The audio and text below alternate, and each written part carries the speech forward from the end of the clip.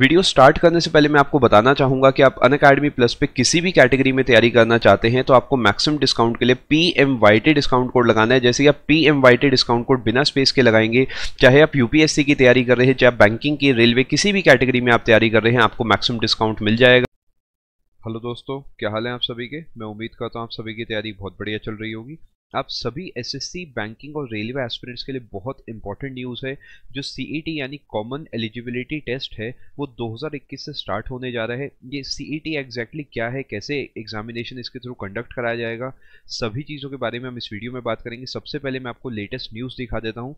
आप सीधा सीधा सामने देख पाएँगे, देश में राष्ट्रीय भर्ती एजेंसी यानी नेशनल रिक्रूटमेंट एजेंसी जिसे एनआरए के नाम से आप जानते हो, वो जल्द ही आकार लेगी। राष्ट्रीय भर्ती एजेंसी एनआरए के ज़रिए कर्मचारी चयन आयोग यानी SSC, railway recruitment board, that is RRB for railway aspirants and banking कार्मिक चयन संस्थान यानी आईबीपीएस के तहत होने वाली ग्रुप बी और सी सेवाओं के लिए साझा परीक्षा कराने कराने की योजना अंतिम चरण में है।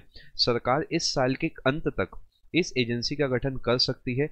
2021 की शुरुआत में एजेंसी के ज़रिए सरकारी नौकरियों के लिए ऑनलाइन साझा प्रारंभिक परीक्षा शुरू हो सकती है। यहाँ पे मैं आपको क्लियरली बता देता हूँ, अभी हर साल कैसे चलता है? 50 अलग अलग रिक्रूटमेंट परीक्षाएँ होती हैं, अभी करीब 20 से ज़्यादा एजेंसियाँ अलग अलग समय पर परीक्षाएँ कराती है। ये जितनी भी चीज़ें हैं, हमने आपको पहले भी एक बार बताया था, जब सरकार ने लेटेस्ट एक नोटिस निकाला था, ये भी चीज़ मैं आपको पहले भी बता चुका हूँ, एक बार फिर आपको बता देता हूँ, ये सब जो चीज़ें हैं, ये सरकार की गाइडलाइंस के अंडर ही चल रही हैं। इसमें क्लियरली मैंशन करा गया था it is propose to set up a specialised agency to conduct a common eligibility test to shortlist candidates अब यहाँ पे आपको ये पॉइंट समझना होगा, ये स्क्रीनिंग या टीयर वन या प्रीलिम्स के लेवल का एग्जामिनेशन होगा। यानी पहले लेवल पे आप एक कॉमन एलिजिबिलिटी टेस्ट देंगे, चाहे बैंकिंग के हैं, चाहे एसएससी के हैं, चाहे रेलवे के हैं। अगर आप उसे क्लियर करते हैं, उसके बाद आप अपने रिस्पेक्टिव जो आपकी एजेंसी है, वो आपका सेकेंड लेवल कंडक्ट कराएगी। मैं आपको और चीज़ें इसके बारे में क्लियरली बता देता हूँ अगर सामने देखेंगे तो यहाँ पे क्लियरली एक बात मैंशन है application for jobs and railways banks and lower levels of central government will now write a common eligibility test from 2021 एक सिंगल नेशनल रिक्रूटमेंट एजेंसी बनाई जाएगी, जो एक सिंगल एग्जामिनेशन कराएगी, जिसे सी ई टी आप बोलेंगे। आप सभी को एग्जामिनेशन देना है, आप उसे क्लियर करके फिर आगे फर्दर एग्जामिनेशन में अपियर होंगे। यहाँ पे कुछ इंपॉर्टेंट पॉइंट्स है जो मैं आपको समझा देता हूँ। अब ये पॉइंट आपको समझना होगा the exam dates for 2020 have already been announced for the existing separate exams so this will be implemented from 2021 यानी जो भी 2020 में आपके एग्ज़ाम होने हैं, चाहे वो सीजीएल की आपसे मैं बात करता हूँ, या फिर आपकी मेंस की बात करता हूँ, ये सभी एग्ज़ाम्स अपने उसी टाइम पे होंगे। अपने आप को बिल्कुल धोखा मत देना कि क्या सी जी 2020 का क्या होगा, या फिर आप सी जी 19 का जो मेन्स है, या फिर एन का जो इसका चल रहा है, उसका क्या होगा। ये सभी चीज़ें उसी हिसाब से चलेंगी। 2021 से इम्प्लीमेंट होगा सी ई में जितने भी एग्ज़ाम्स होने हैं, सब कुछ as per the existing schedule ही चलेंगे। मैं आपको क्लियरली थोड़ा सी के बारे में बता देता हूँ।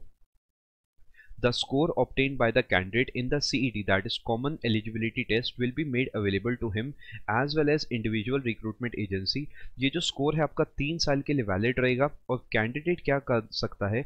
अपने हिसाब से and the candidate can suitably seek to find a slot wherever vacancies available and he qualifies for it initially CET will be conducted by the NRA that is National Recruitment Agency for the SSC Staff Selection Commission, RRB, Railway Recruitment Boards and IBPS Institute of Banking Personnel Selection. However, other recruiting agencies in the central government, state government, union territories and private sector can also use the score of NRA in their recruitments. यानी यही जो आपका score होगा बाकी agencies भी use कर सकती है एम्प्लॉयमेंट पर्पज से CET will only screen the candidates and final selection will be made through separate specialized examinations to be conducted by the respective recruitment agencies यानी जो पहला लेवल होगा स्क्रीनिंग का वो सीईटी के थ्रू होगा। अगर आप इसे क्वालिफाई करते हैं, फिर आपके जो इन पर्टिकुलर आपकी जो स्पेशलाइज्ड एजेंसी है, वही आपका एग्ज़ाम आगे का कंडक्ट कराएगी। जो सीईटी है, वो एक हज़ार से ज़्यादा सेंटर्स में कंडक्ट कराया जाएगा with at least one centre in every district एक और पॉइंट आपको पता होना चाहिए it is propose to conduct the C E T twice a year in all regional languages ये पॉइंट आपको समझना है। The score of a candidate will be valid for a period of three years there will be no restrictions regarding number of attempt a candidate can appear in the C E T यानी आप अपना score improve करने के लिए फिर से आप apply कर सकते हो, फिर से इस एग्ज़ाम को दे सकते हो। जो बेस्ट आपका स्कोर होगा, वो कंसिडर करा जाएगा सभी रिक्रूटमेंट्स के लिए। अब मैं आपको क्लियरली एक चीज़ बता देता हूँ। अगर आप C G L twenty twenty के लिए सोच रहे हैं या फिर सी जी के मेन्स के लिए या फिर इन सब चीज़ों के लिए सोच रहे हैं, अपने आप को बिल्कुल धोखे में मत रखो। वो सब चीज़ें बिल्कुल सेम चलने वाली है। यहाँ पे क्लियरली मैंशनड है the exam dates for twenty twenty have already been announced for the existing separate exams so this will be implemented from two यानी आप अभी से अपनी तैयारी में लगो, बिल्कुल मत सोचो इस बारे में कि अभी क्या होगा। मैं आपको बताना चाहूँगा कि आप अन अकेडमी प्लस पे किसी भी कैटेगरी में तैयारी करना चाहते हैं तो आपको मैक्सिमम डिस्काउंट के लिए P M Y T discount code लगाना है। जैसे आप P M Y T discount code बिना स्पेस के लगाएँगे, चाहे आप यूपीएससी की तैयारी कर रहे हैं, चाहे बैंकिंग की रेलवे किसी भी कैटेगरी में आप तैयारी कर रहे हैं, आपको मैक्सिमम डिस्काउंट मिल जाएगा। मान लेते हैं आप एसएससी कैटेगरी में कोड लगाते हैं तो बहुत बच्चों को कन्फ्यूज़न होता है क्या सर, सिर्फ़ आपके बैचेस मिलेंगे? आंसर इज़ नो आपको एक सिंगल प्लान से सारे एजुकेटर्स के सारे बैचेस मिल जाते हैं, उसमें 100 प्लस एजुकेटर्स 50 प्लस बैचेस सब कुछ उसके अंदर कवर होता है। जितने भी आपके नए बैचेस आने वाले हैं, जितने भी पुराने बैचेस हैं और जितने भी रिकॉर्डेड बैचेस हैं, सब कुछ इसके अंदर कवर है और ऐसा नहीं है, सिर्फ़ दिल्ली पुलिस कवर होगा। एसएससी कैटेगरी के सभी एग्ज़ाम्स चाहे वो सीजीएल हो, चाहे उसमें टीयर वन हो टीयर टू हो टीयर थ्री हो, चाहे वो सी हो सी हो एमटीएस हो जेई हो सारे बैचेस सारे एग्ज़ाम्स पूरे के पूरे कवर होते हैं और दो साल का प्लान आपको पड़ता है। फाइव एट थ्री टू का, एक साल का प्लान आपको पड़ता है फोर एट सिक्स ज़ीरो का। अगर आप डिस्काउंट कोड लगाते हैं P M Y T without space और आपको ये बात ध्यान रखनी है, इसके साथ अपने क्रेडिट्स भी आप लगा सकते हो जिससे कि आपको मैक्सिमम डिस्काउंट मिल जाएगा।